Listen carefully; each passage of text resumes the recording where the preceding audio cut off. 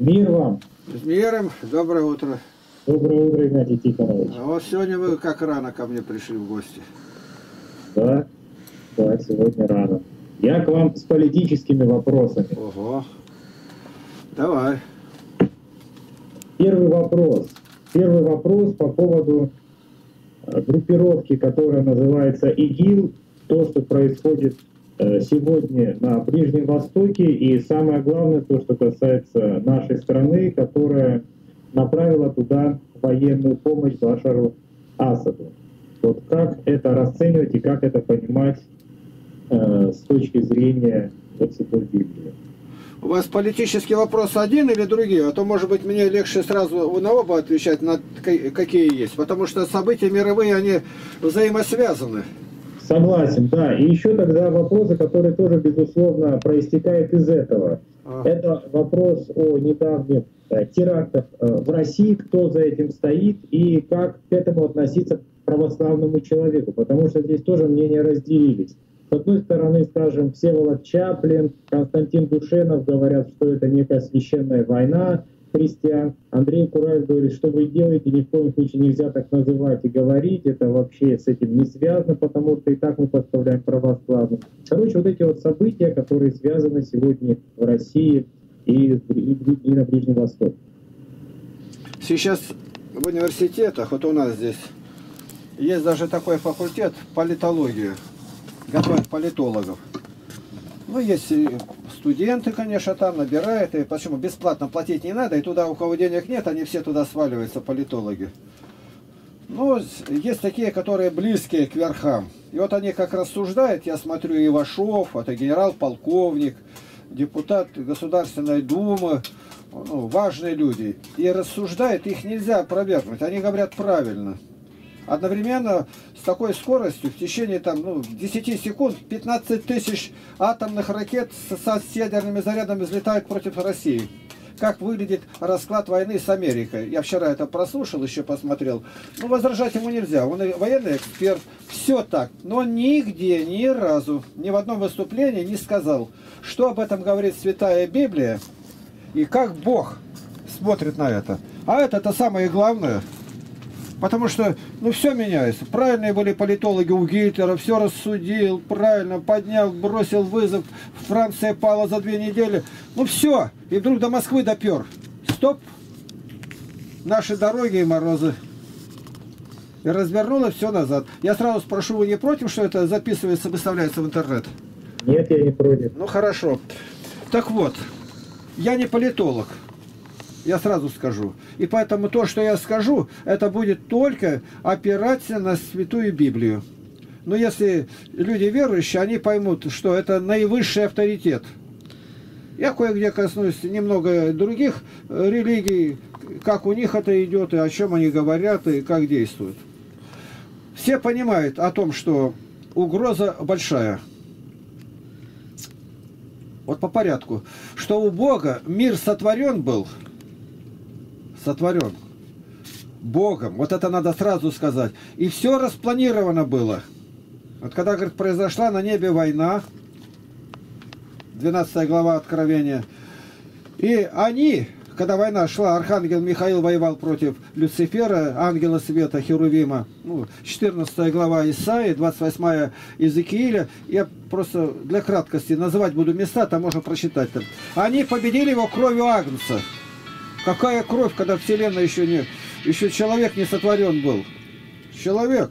А от Адама до рождения Христа 5508 лет. А победили кровью Христа. У Бога в одном дне. Мы никак не можем для себя взять. Еще не было ничего, на это уже запланировано, и так и будет. Вот сон. Сон этот от Бога был когда Иосиф сидел в тюрьме. И он говорит, что виночерпий будет освобожден через три дня, а исследовано дело будет и найден этот коррупционер пойман, и его повесят хлебодара. Ну а можешь что-то изменить? А как ты изменишь-то? Это уже запланировано. А если хлебодар покается, он поймет, он заплатит, что своровал из казны, не получится. Или закон, который запрещает обратную силу говорится, закона делать. Или у него не с чем рассчитаться, или никому и на ум не придет. Или другой там закон будет. Это будет непременно. И вот пока мы это не поймем, все остальные рассуждения, это знаешь, по стеклу, говорит, размазывать одно. Зачем? Вот мы смотрим э, пророка Даниила. Он, ему было показано, стоит на берегу, из моря выходит, там животное. Ну, животное это животное, но это не только царь, это целое государство означало. Вместе с персидским царем это Персия. Дальше показывает, за овном выходит э, козел. Ну, у русских-то козел, как бы, когда обзывает ты козел, обидно, а здесь наоборот похвала, что он сильный, и он с великой ярости налетел, и все это уже определенно, четко, и Феодорит Кирский говорит, и все, что это Александр Македонский. Ну, а можно было бы, чтобы Александр Македонский не победил его, потому что всего 30 тысяч войск было, а у того 500 тысяч нельзя неправильная расстановка войск, погода, пески, конница не на том месте. Это потом политологи будут исследовать-то. Не надо ничего исследовать. Не надо. Вот когда рас, рассуждает Валан, сидят эти двое, и он проходит мимо. А какие доказательства? Не надо доказательств. Он был. Вот он в подбитом идет шаркающей походкой кавалериста этот Пилат. И все. Это было. Почему он сатана знает это дело? Он есть, и не надо доказывать. Это разнаряжено, и не надо рассуждать будет как он. А вот разнарядку эту Господь приоткрыл. И вот мы сейчас в ней э, попытаемся увидеть следы сегодняшних событий на мировой арене. Я очень много слушаю про Сирию. Каждый день я трачу около двух часов на это. Все ролики до единого просмотрел, и которые там бывают, и нашел даже где там боевики говорят, и, и скажу, что все подтверждает то, что написано. Я не нашел ни одного противоречия написанному в Святой Библии. И события в Париже сейчас, во Франции-то, они прямо из этого проистекают и вписываются. На земле есть люди, которые пытаются сделать хорошо для своего народа или для своей религии. И у них целые лозунги на это. Ну, слава Украине, слава, какая слава, как она Украине слава, в чем она может быть? Надо показать хотя бы раз. Я нигде этого не увидел. Также там блудницы, также все ереси там собраны со всего мира. Так это к Украине относится или нет? Нет, слава. Не слава, говорит, а иховод, бесславие. Не называйте больше меня наименью. Наимень это прекрасно. А называйте меня Марою, ибо горькая я. И Бог отнял мужа и детей моих, когда она возвращается с Руфью. Имена меняются. Люди даже не знают. Перед ними уже не Наимень стоит. Она была прекрасной девочкой, назвали Наимень, Наэма.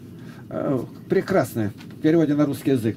Вот здесь точно такие же события.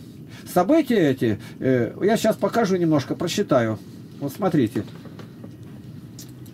Откровение 11 глава. Хотя люди это знают, но мы еще раз посмотрим. «И стал я на песке морском». Иоанн, богослов. «И увидел выходящего из моря зверя с семью головами, десятью рогами» Ну, можно сделать, чтобы наоборот было 10 рогов, а 7, э, э, это, сказать, 7 у него было рогов и 10 голов. Не будет. На рогах было 10 диадим. На головах его имена богохульные. А почему не сказал какие? Ну вот в это теперь все, что будет против Бога, против Святой Библии. Это все его имена. И мы постараемся хотя бы кромочкой посмотреть, как это. Зверь, которого я видел, был подобен барсу. Ноги у него, как у медведя, пасть у него, как пасть у льва, и дал ему дракон силу свою, престол свою, великую власть. Какой дракон, кто? Ну, это сатана. Не просто победили на выборах, пришел к власти там Обама или Путин. Нет, дракон дает силу. Дракон. Я не говорю конкретно, я просто называю с маленькой буквы этих людей. Никакой роли-то они уже тут и не играют. Они просто на свое место говорят, а что бы сейчас Петр Первый сделал? Ничего не сделал. А был бы Ленин, он мог бы повернуть опять к революции. Не мог, его посадили бы в тюрьму, законы другие. Ничего нельзя сделать, это занаряжено. Но царь Николай I был такой крутой, он бы перевешал. Не было его в это время. Но говорили царю-то, ты всего 2000 там этих декабристов повешай, и февралисты не появятся. И все. По крайней мере, 500 лет слова революции в России бы даже не звучало. Но нет, пойдет на Голгофу царь, семейство его, и вся Россия туда будет отправлена. Пришло время я вставку делаю. В третий стих увидел я, что одна из голов была как бы смертельно ранена. Голов, но эта смертельная рана исцелела. И дивилась вся земля, следя за зверем, и поклонились дракону, который дал власть зверю. То есть все понимали, откуда эта власть. Сегодня еще не понимают. Думают, выборы. Да какие выборы? Это смех один. И кого они выберут? Ну, вот об этом Жириновский говорит, интересно, вы выбираете, тратите деньги, ну кого выберете, когда уже все назначено? Я вспоминаю, когда Рейганова должны были выбрать, а перед ним там Картер, кажется, шел, ну и у них там называется мальчишник, когда все миллиардеры собираются, а там, кто все это ставит, он есть, называется его имя, и когда уже провозгласили так, ребята, следующий сейчас будет у нас вот такой-то, а Рейган, Рональд, видно, что опечалился, он думал, он артист, всего лишь артист, только обыкновенный был комик, там, сатирик, он подошел к нему, похлопал по плечу. Рони, не обижайся, следующий будешь ты. То есть разнарядка, я говорю про одну сторону, такая, что еще там будут загораться у них два табло. Синее, там красное, там которые э, партия одна, другая, там консервативная, демократическая. Лампочки будут загораться, какой штат проголосовал, где кто больше, где мормоны, кого выдвинуть. Это все то, что только вписывается в то, чтобы оболванить. Уже там решил этот мальчишник. И следующий будет Рональд. И ничего не... А можем, чтобы в это время было покушение, его убили. Тут еще можно. А вот здесь уже нельзя. Там можно Кеннеди убить, здесь нельзя зверя убить. Да, да, так. И отверз он уста свои, шестой стих. На Бога для хулы. Хулить имя его и жилище его – и живущих на небе. То есть против святых будет говорить. Дано было ему вести войну со святыми и победить их. Это в одной только религии в христианстве говорится о поражении святых. И дана была ему власть над всяким коленом, и народом, языком и племенем. Я для этого и считаю. Над всяким, значит, сюда входит и Россия. А то везде антихрист воцарится, а в России его не будет здесь не смогут перейти, он не сможет канавку перейти там где-то. Что не могут перейти, когда там атомное оружие было и все канавки сравняли? Ну, дурь этот православный этот. Иосипов, Алексей Ильич совершенно правильно говорит. Если антихриста должно принять, то первые примут православные. У них жажда, царь-искупитель. Они ждут его, и он видит царя и явится. Прямо трясутся над этим. Вот пришел бы, разрешил бы наши вопросы. Дальше.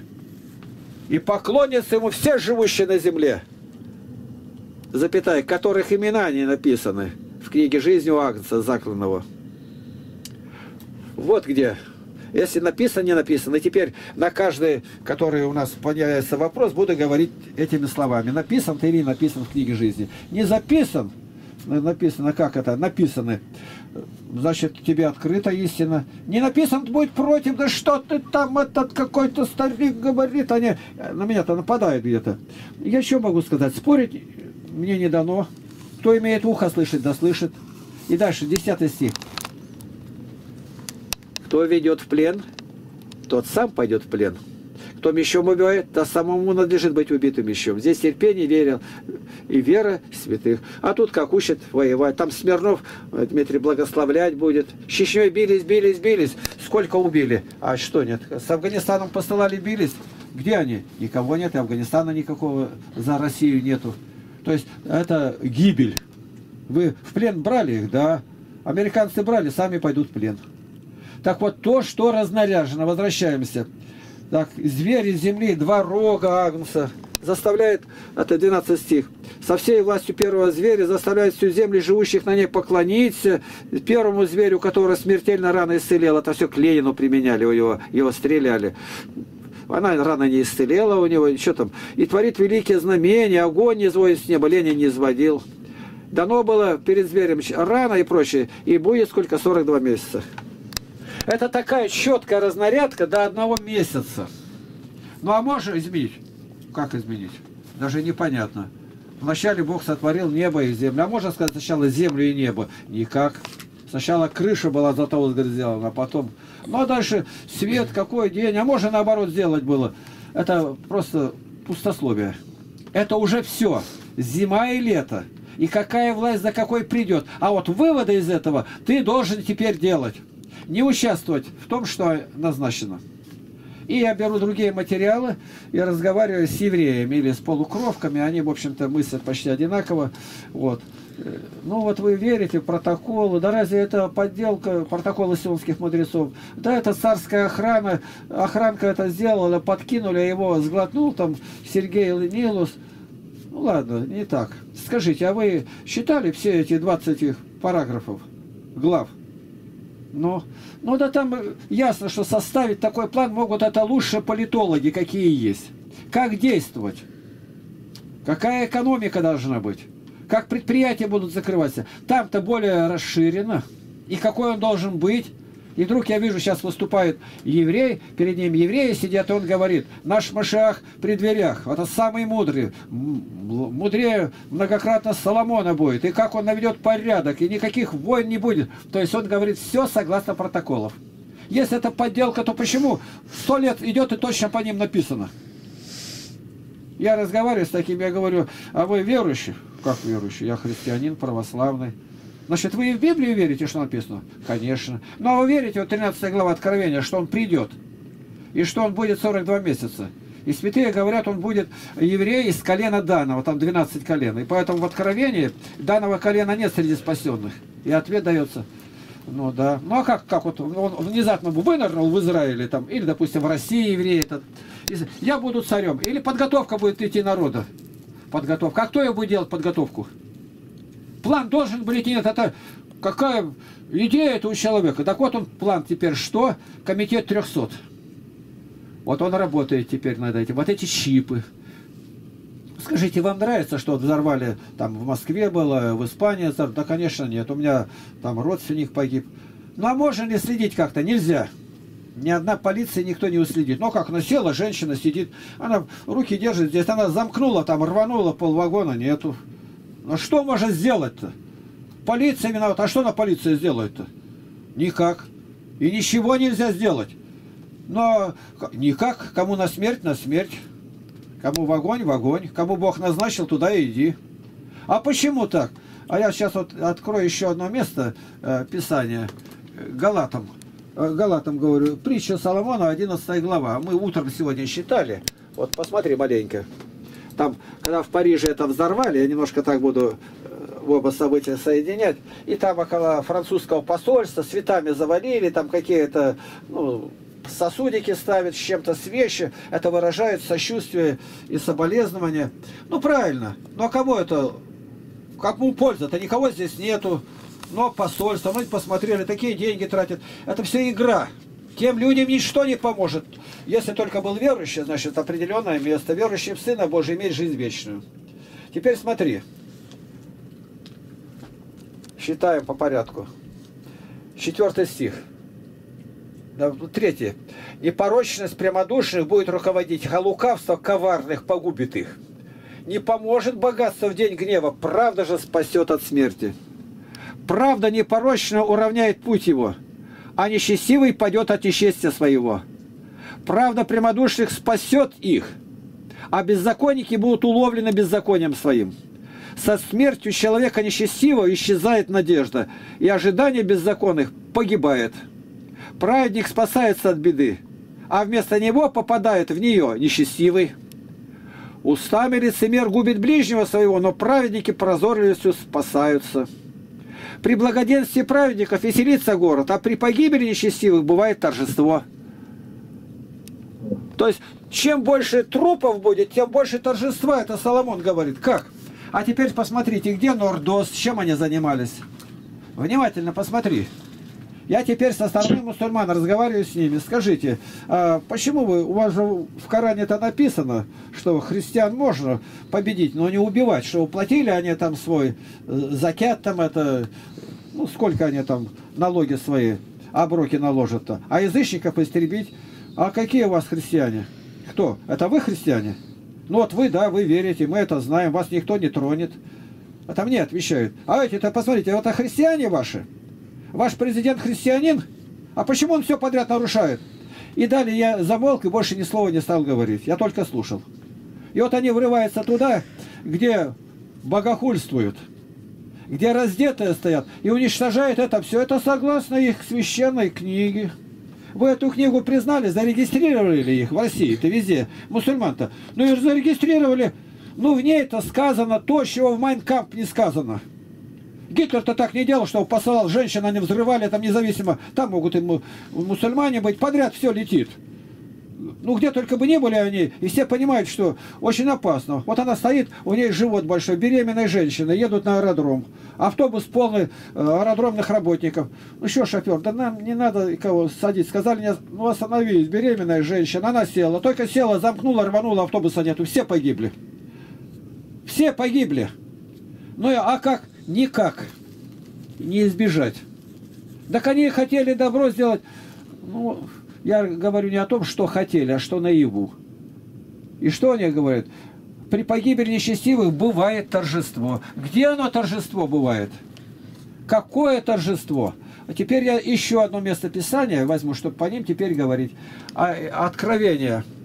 Иоанна Богослова, 6 глава. Мы считаем, 9 стих. «И когда он с большой буквы, Агнец, снял пятую печать, я увидел под жертвенником душу убиенных за Слово Божие и за свидетельство, которое имели. Не их увидел, а души убиенных в родительном падеже, то есть принадлежавшие им, то есть у них есть душа. Речь идет о душах. Вот для адвентистов, для иеговистов, для всех. Просто возьми для себя. Души убиенных. Не убиенных он увидел-то. Вот это важно. Вот и доказательство. Ничего больше не надо. И возопили они громким голосом, говорят, «Да, коли, владыка, святые истины, не судишь и не мстишь живущим на земле за кровь нашу». Так это спасенные, да. И просят отомстить, да, что был суд им, да. Да как же так же? Написано, что любите врагов ваших. Любите означает обратите, а не потворствуйте. И они это просят не о погибели их, а о том, чтобы судил их, чтобы речь идет о том, обратились они в наказании и даны было каждому из них одежды белые. И сказано им, чтобы они успокоились еще на малое время, пока и сотрудники их, и братья их, которые будут убиты, и как, как они, дополнят число. То есть на небе идет молитва. Теперь смотри, что там ИГИЛ, там э, исламское государство, вот, они убивают христиан. И при том настоящих христиан, которые обратились, тамошних христиан. Это не европейские. Просто режут и режут. Вот их кровь вопиет. Вот тут вмешательство России, тут многие молятся. И Бог положил на сердце отомстить. И отомщают через решение президента Путина. Я нашел прямое это. Так он что правильно делает? Я не об этом сужу. Я нахожу причину. Откуда это? Почему никуда не послала туда? Это кровь попьет. А как? Эти, которые там есть, они в один день могут стать мучениками. В плен они брать не будут. Этих летчиков, которые бомбят. Э, э, это однозначно. Они поехали, подписали себе приговор. Их выискивать будут повсюду. Теперь, тех, которые подняли там это, они делают, ну, мусульмане-то, отдельно государство. Как? Они не видят, что и мусульманство разлагается везде, и ничего нету. И они тогда стали точно делать, как у нас по канонам а у них там объяснение дается, толкование, как у евреев там Талмуда, так и у них толкует это все. Что нужно делать? Убирать своих. Это главные враги. Убивать их. Убивать у них кровь ни за что не ставится. И поэтому они мулу и главное там имама убивают всех. И как? Собираться в одно место и по всему миру. И они, конечно, рассчитали там. Ну а вот мы будем делать так, где это? Ну, Ливан захватили, Тунис, э, Объединенные Арабские Эмираты, да мешает нам Сирия. Сирия древнейшая страна и прочее. Надо ее, чтобы было полностью так, как написано. Жить по нашим законам. Во всем. Судить. Вот как написано, шариат, чтобы работал. Вот они делают. Ну, а там же свои политики. Они, они знают, мусульманство должно забыть, э, одна религия быть на земле. О, одна. Это у них везде лозунг идет приветствие Гитлеру, правильно делал, но не дошел, мы дойдем. Приветствия везде состоят они там с плакатами, я смотрел, ну по-английски написано. И выступает, когда на, еврей спрятался за камнем, камень говорит, здесь еврей, убей его. И там христиане, это заблудшие, тех можно пощадить немножко еще, один-два дня дать пожить. Мусульманство будет по всему миру. И ему это вдалбливают, когда он маленький, и только оружием. Семилетний уже с маленьким пистолетиком учат резать головы, показывают мальчишки, дают, а мальчишка, видно, ну лет 12, чтобы он резал голову. Раньше такого не было, сейчас, ну а правильно ли, я не об этом говорю, я говорю то, что есть. И они этим занимались и будут заниматься. У них это прописано. Прописано.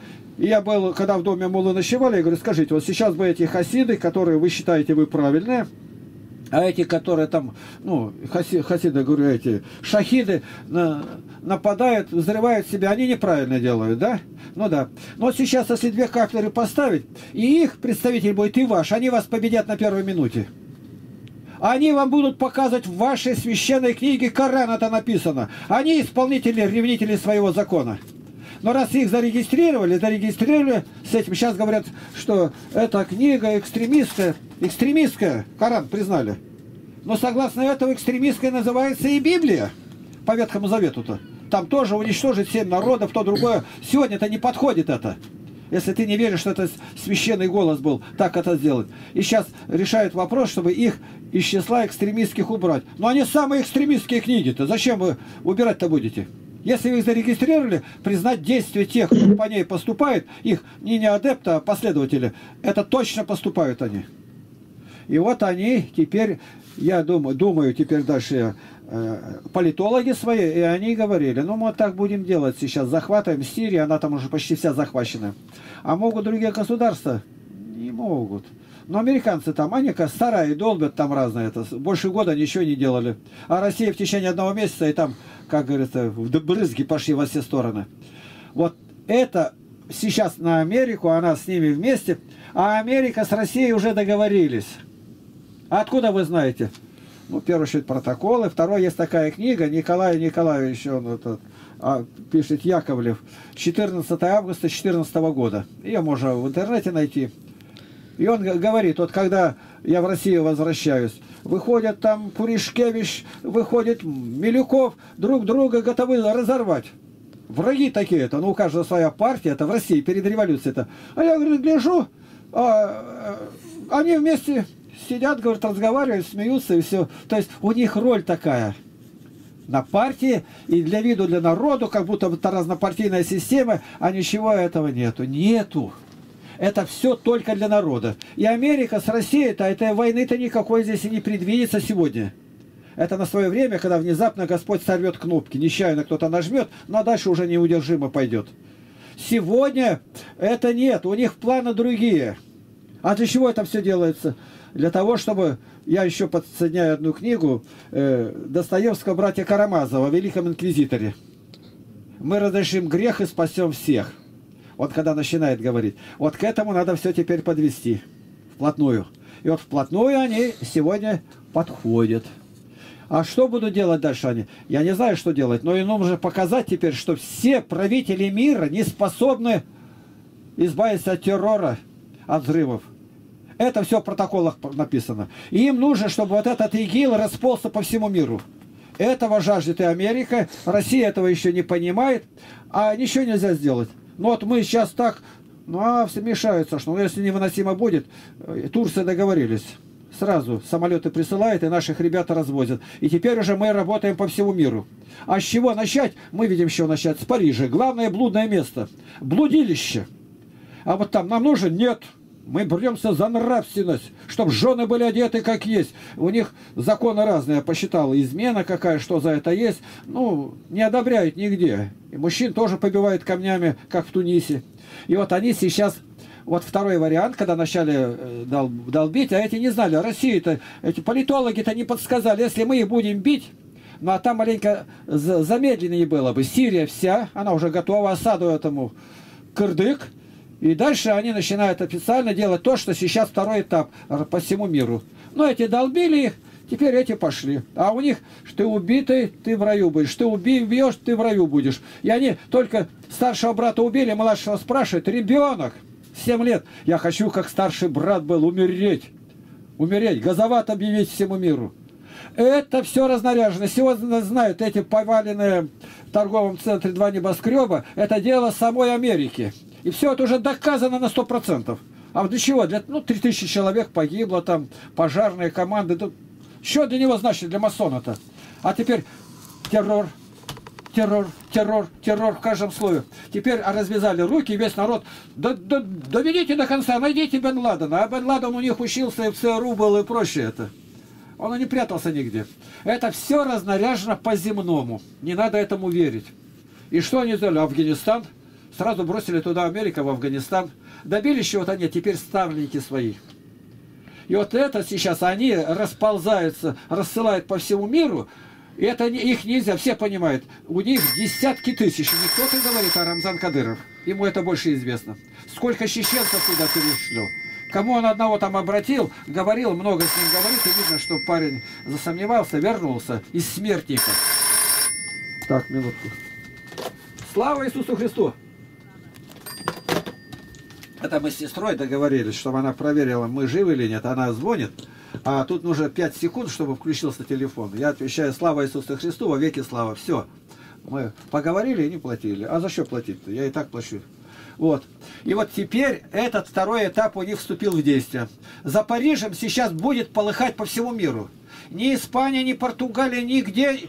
Это все все десятки тысяч. Обычно на Украине было, Рамзан Кадыров, мы туда пошлем батальоны, то другое. Здесь никуда не пошлешь. Куда? Это внутри голов. Это нельзя победить.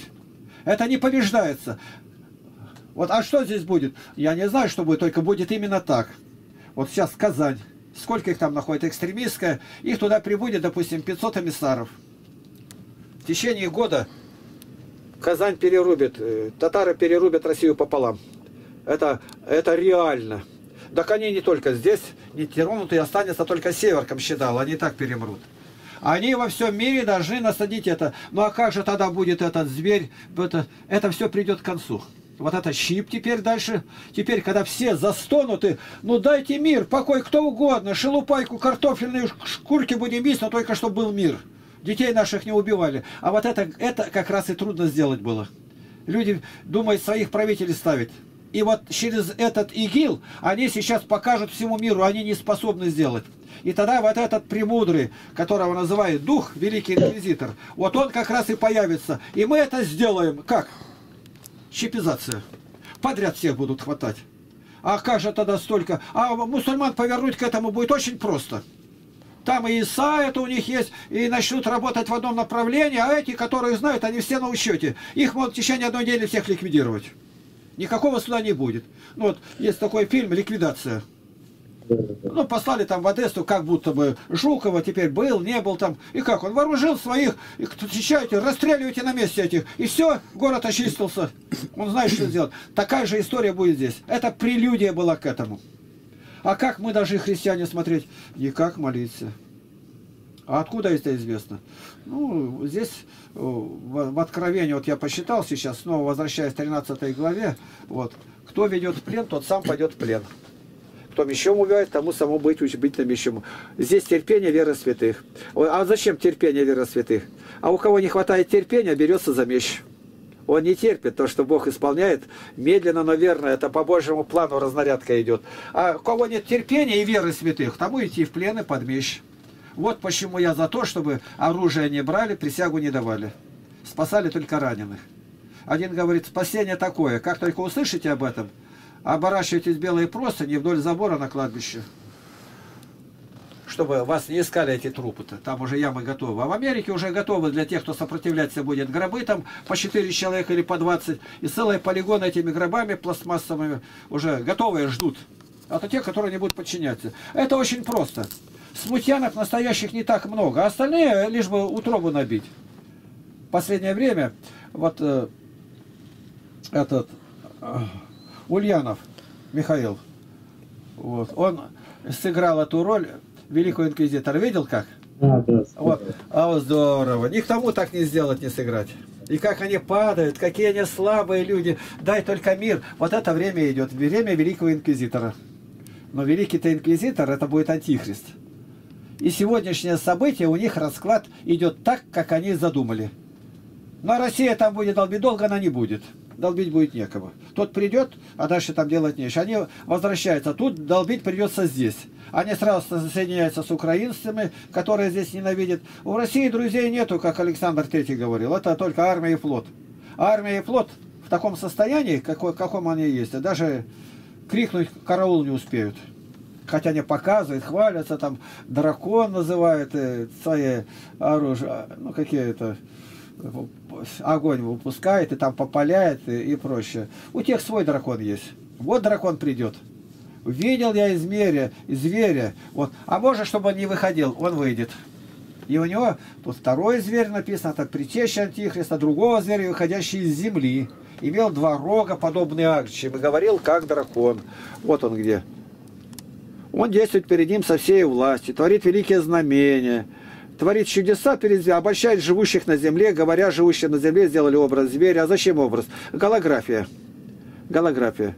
Богатым нищим, свободным рабам положено будет начертание на правую руку на чело. Какое начертание? Ну, теперь знаем, щипизация. И НН. И что никому нельзя будет ни покупать, ни продавать.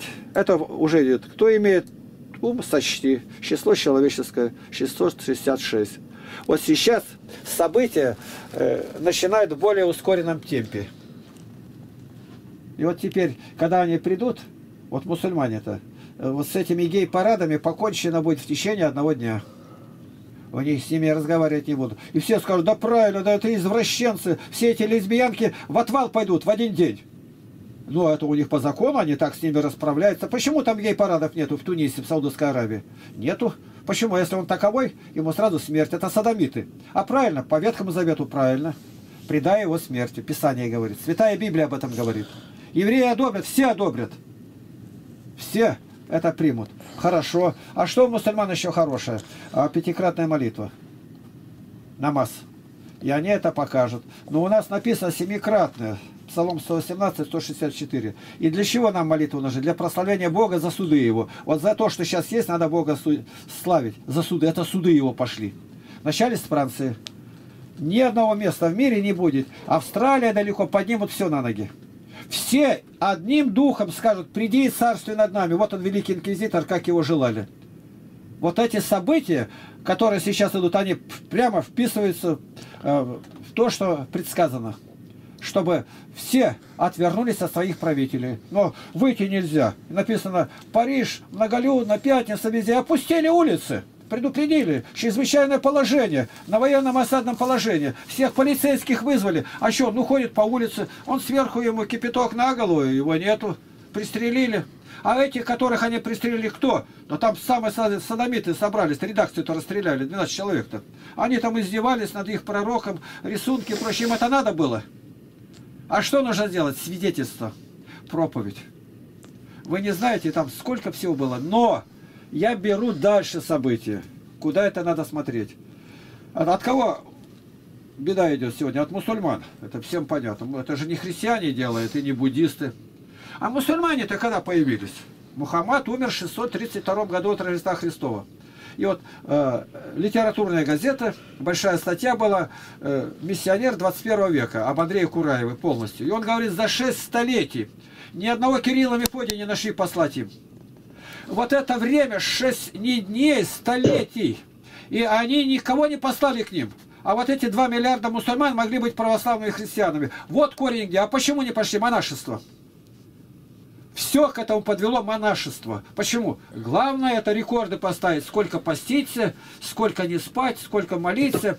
И самое ценное, самое крепкое высасывали из народа и туда. Куда? Ну, за монастырские стены, мандра, стена, архимандрита, караулить их будет. Вот сколько. Там были, говорит, монастыри по 50 тысяч когда я насчитывал это все уставы Венедикта, Василия Великого, уставы какие, везде только одно, разговаривать нельзя, то есть язык отрезанный. Так это не мусульмане отрезали. А раз не было свидетельства, Господь посылает бич. В данном случае для них, для тел, это бич, которые приехали сейчас, прилетели и додолбят их. А бичом был и Ларих, это мы, когда он нападал, Атила, Тамерлан, Наполеон, Гитлер, это все бич Божий для вразумления. В книге Судей говорится, когда согрешали, Бог отправлял в плен. Каялись, возвращал обратно. Сегодня у нас вот это положение. Что в церкви делается? Народ Библии не знает. Совершенно не знает. И не хотят знать. Я, когда вел занятия в разных школах, ну, слушают ученики, внимательно слушают. Ну, и в конце я говорил, вот, э, есть имена, И их можно растолковать и объяснить. Говорят, допустим, Валентина обязательно чернявая должна быть. Вот если там э, Стефан, то у него наклонность вот к такому-то есть. Я все это опровергаю. Это неправда. Валентина бывает и рыжие, и косоглазые. Я объясняю так, что означает слово это в переводе. И показываю на первого, от кого пошло святое. А образец кому подражать? Наталья, вот такая-то. Что она означает? Жизненная, как Виталий. Это рожденная, рожденная. Ну, теперь родился ли ты свыше? И детям сильно нравится, когда они узнают свои имена, переглядываются друг друга, там хлопают. Ну, и я их наизусть просто имена все эти знал. А есть имена, которые не переводятся, как Олег, Игорь. И сейчас что-то придумывают. Это славянские имена, они имели значение, но все это ушло. Борис и Глеб, это очень... Ну, нет перевода. Почему? Это славянские имена, они не переводились. Ну, Глеб, может, был хлеб, вот я не знаю. Олег, может быть, какая-то слега там была, букву приставили, и теперь догадайся, как сейчас Суворов. Не Суворов, а Суровый было сначала-то. А не грамотно кто-то написал, так и пошло. Детям сильно нравится. Ну, самое популярное у меня, э, когда я выступал перед ними, было это имен. Тут уж они ждали буквально узнать себя, учителя, все спрашивают, но я это все так быстро выворачивал к божественному, что они уже имя свое забывали, а слушали о том, кто был первый. Так вот, нам нужно расшифровать наши имена и им соответствовать. Просто посмотреть. Ты Георгий, землепашец, Юрий. Это одно и то же слово. Распахивай на вину. Паши. Не просто засевай преданиями, традициями. Ну, тебя, допустим, убрали, ты не будешь преподавателем в университете, там, в академии, не будешь э, вести катехизаторские курсы, но путь на небо тебе не закрыт. А раз путь тебе не закрыт, поэтому тебе о том и переживать не надо. Ты работаешь в миссионерском отделе, тебя оттуда выгоняют, да их Тебе-то это на пользу. Ты ни с чем не связан будешь. Ты будешь свободным голосом говорить. Андрей Такураев, смотри, как начал говорить, когда его турнули оттуда. -то. От связано. Игнатий это все равно. Говорит, а мне не все равно. Мне что епископ скажет. Он, ну он открытый такой. Вот как нужно рассматривать события. Не потому, что я придумываю, я просто говорю, видя этот расклад. Я ничего не добавляю, просто только говорю, что у них это, у мусульман это было просчитано там. Если будут нас долбить, тогда вступает второй вариант, это по всему миру. И это уже было заранее сказано. Это известно было. И поэтому ожидать другого нельзя было. Ну а Турция это зачем? Она же с нами по-хорошему, и мы везде. Зачем тебе спрашивают-то? И вот они спорят, стоят, кричат там, там шесть человек, тут друг против... И главное, ролик, два с лишним часа. Я посмотрел, конца края у них нету. И прямо по-серьезному злятся. Я все время вспоминаю Мельгунов об этом, как пишет. Ой-ой-ой. Да это все из одного кошеля вывалено-то. Нам, глупым это. Чтобы мы хватались, дрались, говорит. А они, говорят, дерутся, то есть пьют, а у холопов вообще будет трясутся. На полном серьезе принимают. Серьезно только то, что предсказано Богом. Главная задача вот этого ИГИЛа и всего – показать, что правители не могут справиться с ситуацией, чтобы пожелали другого, который наведет порядок. Это причащие Антихриста. Так что все, что ли? Ну, кто обратится, тот, значит, не опоздал, а остальные нет. И опровергнуть здесь ничего нельзя. Я знаю, как на этот ролик будут нападать, да откуда вы знаете, да что знаете, да вот такой-то там правитель, он может навести порядок. Может навести до определенного времени. Наступает момент, когда ничего он не сделает. Ну скажи, Сталин допустил бы, если Сталин был, чтобы вот эта перестройка, Горбачев был, гласность была, он бы сразу сгинул там. Но наступило время, Хрущев разрушил авторитет Сталина, дальше культ личности, дальше молодого выставляет, умного самого, а дальше Маргарет Тэтчер его берет под свое крылышко, и она будет им руководить. Теперь Мальта, то есть остров Мелит, там они тайно состать, нигде ни одного ни слова нет, что они там разговаривали. Там речь шла о перестройке. И он заботился о себе, а я как? Так сделаем, трогать не будет. Ну, это же страна наша, там будут... Ну, ты переедешь к нам в Англию, и все, только разговор-то. То есть теперь уже видно, что они там разговаривали, когда события уже исполнились как повели себя. Он-то пытался еще второй раз выдвинуться на срок, поехал, тут один ударил, и он уехал. И пропадите вы. Да я не хотел, чтобы так написано, нарисовано. Он стоит, руки рассыл. Я не хотел, она сама развалилась, страна. Вот карикатура как бы. Но это так. И вот сегодняшнее событие, это нажатая кнопка для ускорения событий. А почему? Ну, за добрые дела, когда люди молятся, тогда Бог продляет милость. А когда не слушаются, Он... Зачем время тянуть? И он говорит, еще 120, 120 лет, да будет там 120 лет потоп-то. А потоп пришел через 100 лет. Не кается, Бог обрезал 20 лет, говорит. Это, это объясняется и у Златоуста, у других. 20 лет. Люди не поняли, что такое э, после революции э, в плену. Не, не поняли. 70 лет. Бог добавил 2 года, они 72 пробыли. И от смерти, кажется, э, царя, да, перестройка началась 72 года. Я в Америке на эту тему говорил. Это копия идет, она трижды повторяется. Сегодняшнее событие – это звонок, чтобы мы глупостями не занимались. Не вставали ни на какую сторону, только молились. Могут спросить, так что, не надо сопротивляться? Бесполезно. Дело в том, что бесполезно. Это назначено у Бога. Ну а сейчас твою жену там будут насиловать, детей убивать. Ну ладно. Заходят сейчас, я сижу дома, ты занимаешься. Вдруг в дверь выломили ее мгновенно. Заходят 5-6 вооруженных автоматами. Берут жену, и дальше будет то, что тебя чем пугают. Детей тоже. Ну и что ты будешь делать-то? Ну а мог же Авраам сказать, что Сару не трогайте, что не моя сестра. Его все равно убили бы. Златоуст говорит, вы не знаете нравы этих египтян. Какие они были, жестокие. И поэтому единственный правильный выход тот, который был. Ничего себе, ты будешь под фараоном, а мне будет хорошо. Не будет она там. Для этого Бог, который поразит весь дом его, и он его отпустит, что ты сделал, да наградит и Агарищу ему отдаст придачу. Вот так будет события нужно рассматривать только во свете Святой Библии. Если это не так, это ошибка на каждом шагу.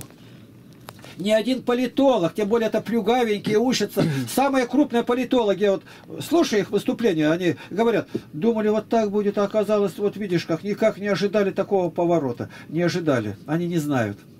А кто может знать? Никто не знает. Бог положил это в тайне. Но общий расклад событий понятен. И столько времени потратили евреи, во всем мире собирали золото 2000 лет, и они теперь отступятся. Не будет этого. Никогда не будет. А я теперь со стороны масонов рассматриваю. Масоны это такие люди, там изверги.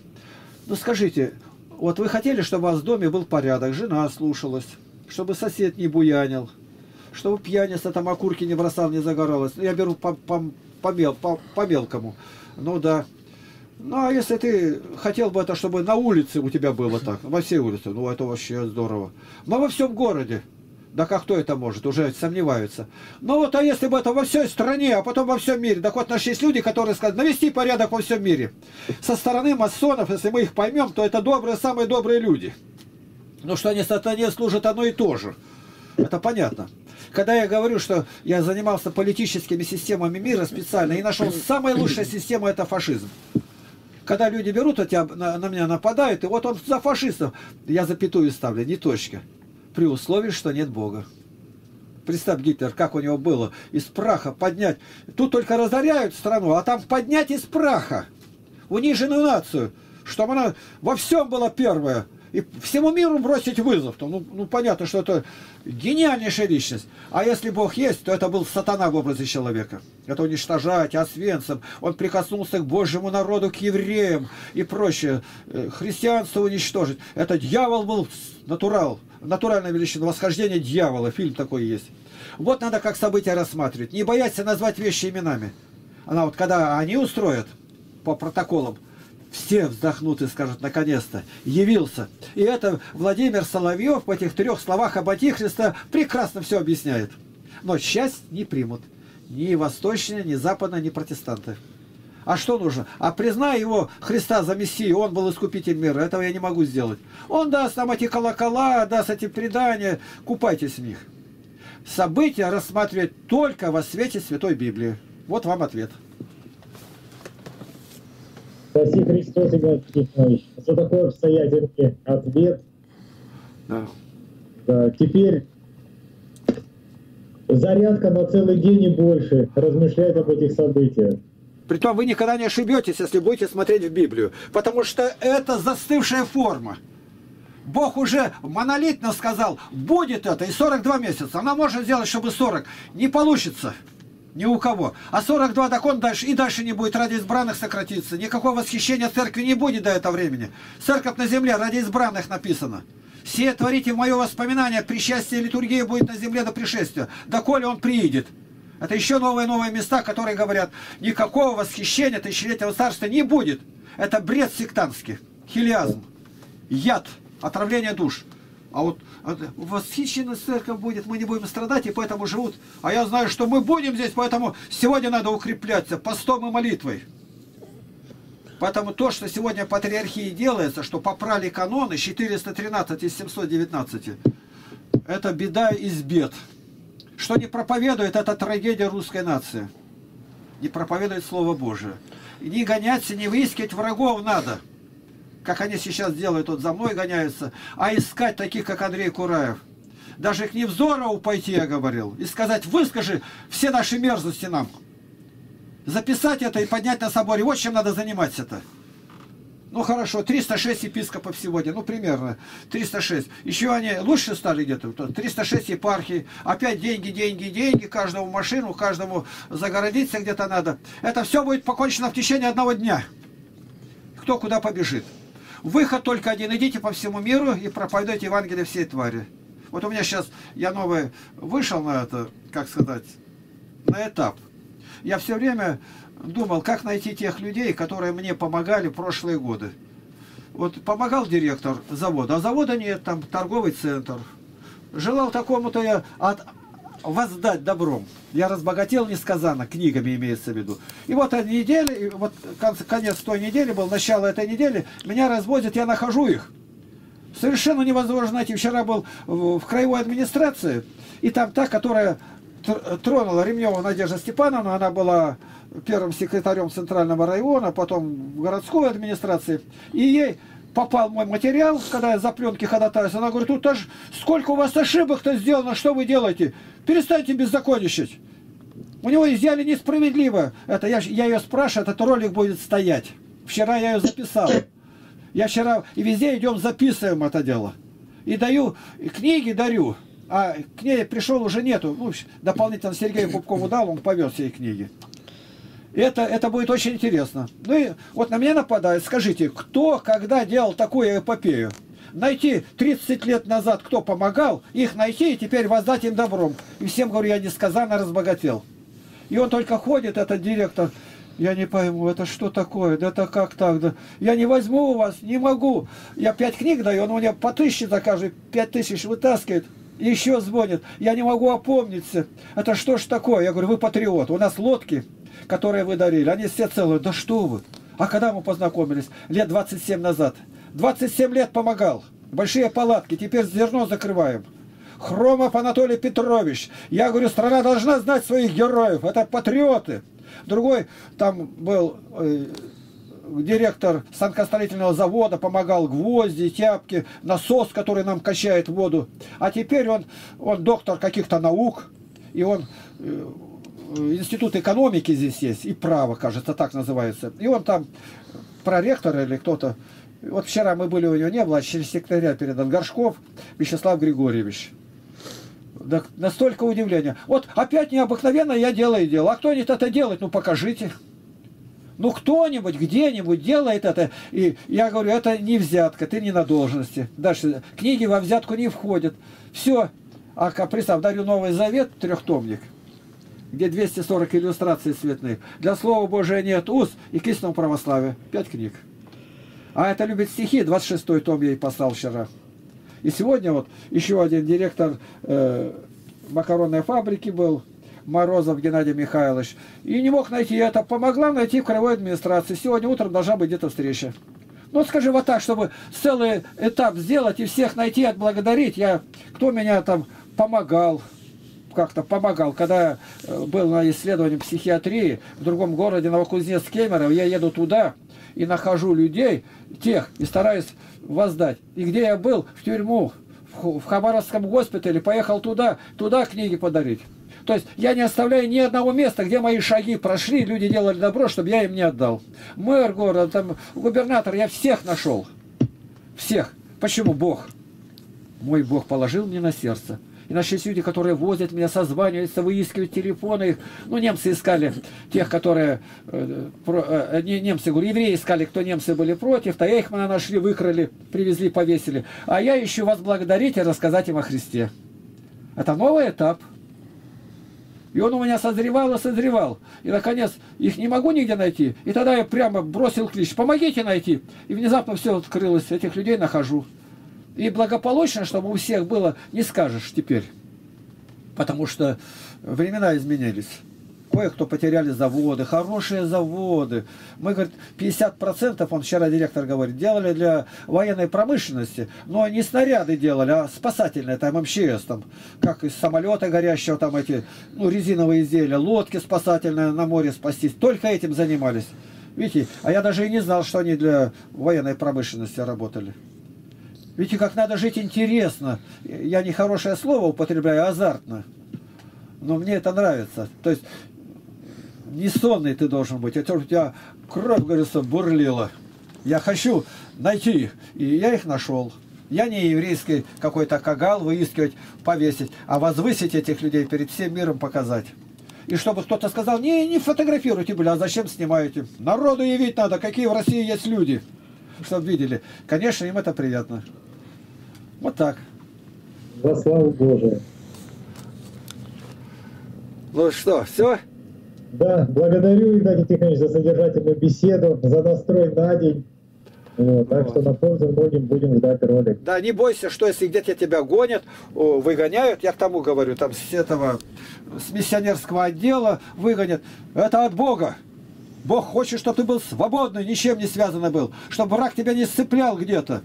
А то трусишь и коры, зарплата твоя, да перед Богом какая зарплата? Да вот мне там платят, ну и что, что платят? Андрей живет уже сколько, и ты проживешь. Я нигде не получаю, живу. Смотри за столом-то, мясное удали, вина, чтобы не было, у тебя уже меньше расходов будет. Ничего не выбрасывай. Самое негодное, говорит, кто мало, ничто ставит помало, и мало-помалу обеднеет. Будь экономным. У меня жена меня все время зовет великий экономист. А то представь, не имея образования и быть великим экономистом, от чего стоит? Хотя бы в глазах одного человека. У меня самый маленький щепка во дворе, я все подберу и сожгу. Самое негодное где-то, травинки, все заставляет детей, пушинки собирать. И мы живем этим, благодаря тому, что движемся, пальчики у детей шевелятся. А что враги? Враги нам лучшие друзья. Они иногда видят те недостатки, которые друзья не видят. А вот эти на меня нападают, там разные скоротопские дудины. Да благословит их Господь, благодать в устах их, как протопоп Авакум о Пашкове говорил. Вот и все. То есть он, мне они в чашку не залезли, спал я спокойно, я о них молюсь больше, попутно с других там вспоминаю о них, их жалко. И в конце прости им, Господи, ну это все детская игра. Ничего это не значит. Вот так. Ну ладно. Ну с Богом. Храни вас Господь. Все. Ну что, давай, друг.